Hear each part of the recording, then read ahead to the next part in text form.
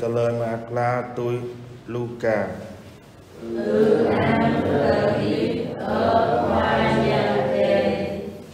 Khi ấy, Đức Giêsu xuống cao Phát Naum một thành miền Galilee và ngày sa-bát. Người giảng dạy dân chúng, họ sửng sốt về cách người giảng dạy vì lời người có uy quyền. Trong hội đường, có một người bị quỷ thần ô uế nhập, la to lên rằng ông Giêsu Nazareth chuyện chúng tôi can gì đến ông mà ông đến tiêu diệt chúng tôi? Tôi biết ông là ai rồi. Ông là đấng thánh của Thiên Chúa.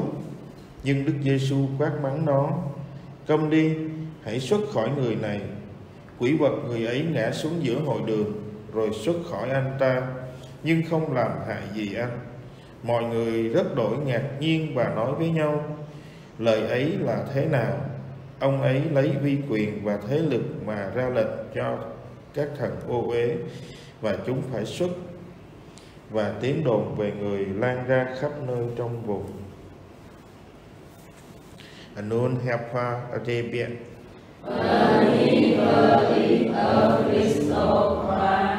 Pinta Mukram. Lâm nung Giêsu qua Ma Bơ Cà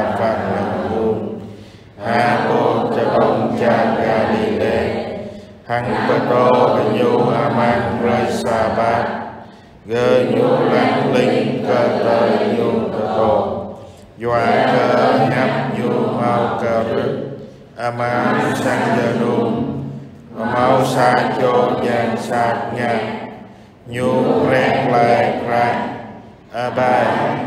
A giê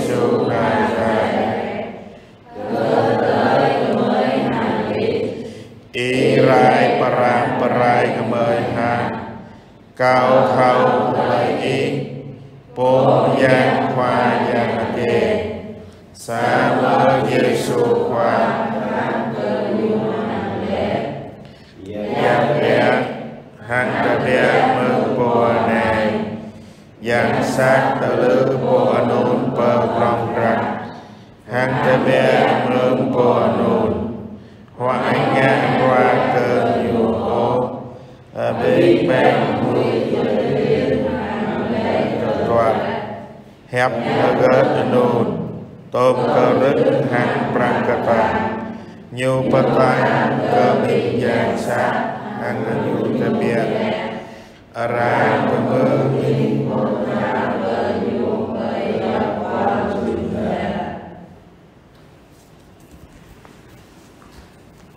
Đây đi ha.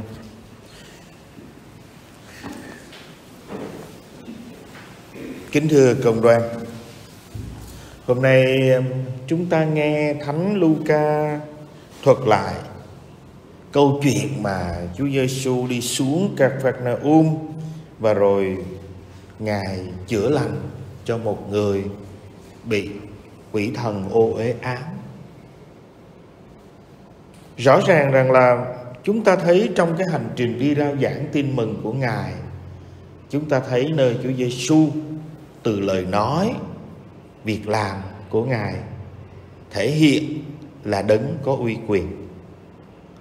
Thế nhưng mà rồi chúng ta thấy đâu phải ai cũng tin Ngài hết đâu. Những người chứng kiến thì có những người tin và có những người không tin. Kết quả của sự không tin ấy đó là cái chết của Chúa Giêsu trên thập giá. Người ta đã không tin dẫu rằng người ta từng chứng kiến các phép lạ mà Chúa Giêsu đã làm. Ngay trong cái hành trình thương khó, chúng ta thấy trong cái đám đông đi theo Chúa Giêsu đó có người xem vì hiếu kỳ, có người thương tiếc như những bà thành Jerusalem, có những người tin như Đức Mẹ và Thánh Gioan. Chúng ta thấy ngay cả như các tông đồ, lúc ấy là lúc giằng co của niềm tin, các tông đồ cũng đã không dám ra mặt ngay cả Phêrô. Để nói về niềm tin vào Chúa, quyền năng vào Chúa thì xem chừng ra dễ. nhưng mà thực tế niềm tin của mỗi người chúng ta vào Chúa như thế nào, đặc biệt trong cơn đại dịch này. Cơn đại dịch này chắc chắn không phải là do Chúa làm mà là do lòng con người, sự ác, sự dữ của con người. Và chúng ta thấy đứng trước sự dữ sự ác này, lẽ ra người ta phải vạch trần cũng như người ta bắt tay nhau để cứu lấy mạng sống của con người. Thế nhưng rồi chúng ta lại thấy có những cách quản trị, có những cách quản lý, có những cách giải quyết dịch bệnh xem chừng ra nó vô lý. Lẽ ra tách riêng ra mỗi người một nơi ở thì chắc chắn cái sự giữ nó không hoàn thành trong khi đó, con virus vô hình ấy, nó không trừ một ai. Vậy mà người ta nở lòng nào nhốt những con người ở chung với nhau? Và đứng trước cái sự giữ ấy, người Kitô hữu của chúng ta cũng được đặt vấn đề về niềm tin. Chúa ở đâu rồi? Chúa có đó chứ. Chúa vẫn có đó đó. Nhưng mà lâu lâu Chúa thử thách qua cái cơn dịch này, Để rồi Chúa thử thách niềm tin của mỗi người chúng ta. Ma không đã phá về cái chuyện lòng thương xót Chúa, Có nhiều người phải cất công từ ngoài quê đi vào. Cái giáo điểm tin mừng mất mấy triệu bạc, Tiền mất tật mang. Rồi đi tới đó xì xà xì sụp để xin lòng thương xót Chúa. Rồi, có những người đứng lên làm chứng. Hôm qua ma nói với thằng em nói bây giờ chẳng thấy người nào làm chứng về lòng thương xót Chúa nữa. Chẳng thấy ai đi tới cái chỗ đó nữa. Chẳng lẽ Chúa hết thương xót rồi sao? Mà nói với nó, đối với cha cha vẫn thấy lòng thương xót của Chúa trên cuộc đời của cha cho đến giờ phút này bằng chứng rằng cha vẫn còn sống giữa những lần đã tưởng như mình đã chết. Và ngay cả chuyện bệnh tật, ngay cả cái máy thở của mình cũng có người chia sẻ để mà mình thở.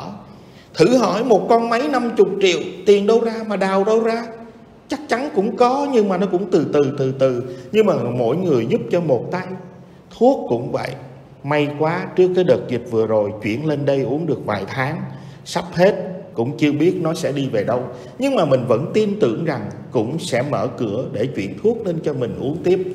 Và mình đã có những cái phương tiện đó để giữ sức khỏe và mình phải cộng tác với Chúa. Và rõ ràng mình thấy mình may mắn hơn mọi người. Người ta bệnh, người ta cần máy thở oxy, người ta kiếm không có. Mình có máy oxy rồi. Và ngày hôm nay được sống chung với hai anh em, đón nhận nhau, sống với nhau trong cái mái nhà này, cộng đoàn thấy biết mà có gì ăn đó, ăn sao cũng được. Ổ bánh mì cũng xong, tô bún riêu cũng xong, cái trứng chiên cũng xong. Bữa nào ngon hơn thì có miếng thịt nướng cũng xong. Đó là hạnh phúc rồi. Nhưng mà nhiều khi chúng ta lại đòi cao quá. Chúng ta lại phải đòi yến tiệc linh đình, phải uống rượu này, bia kia, ngày nào cũng phải uống.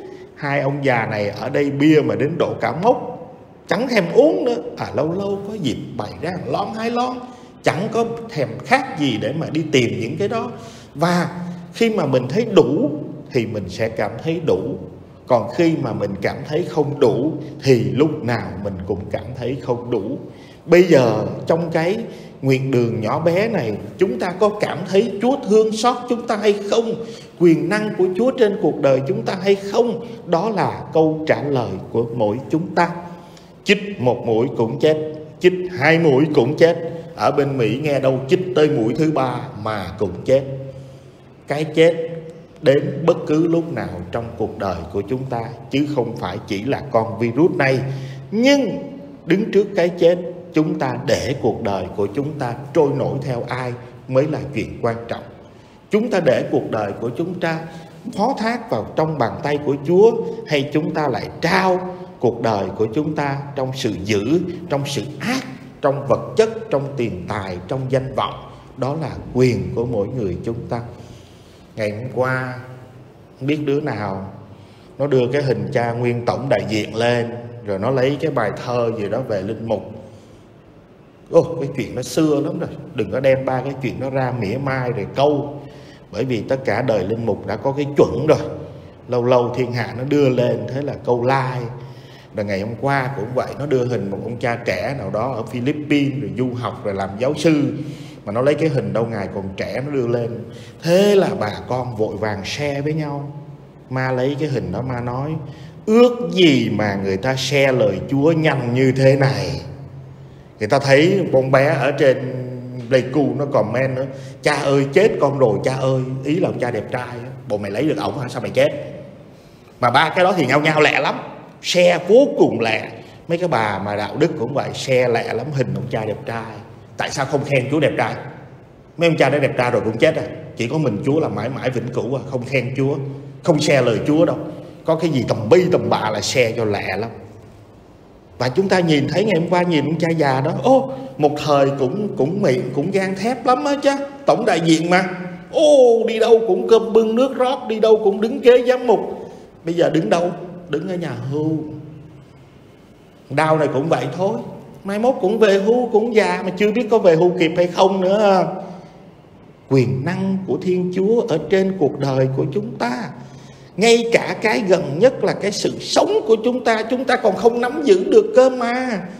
Có thể đêm nay là đêm cuối cùng của thằng đau ông nói là đô lên đô xuống, kệ nó, mày đâu đâu làm cái gì? Ai mà muốn đâu cái đó là chọc chơi với đô lên có đồng nào đô bán đâu.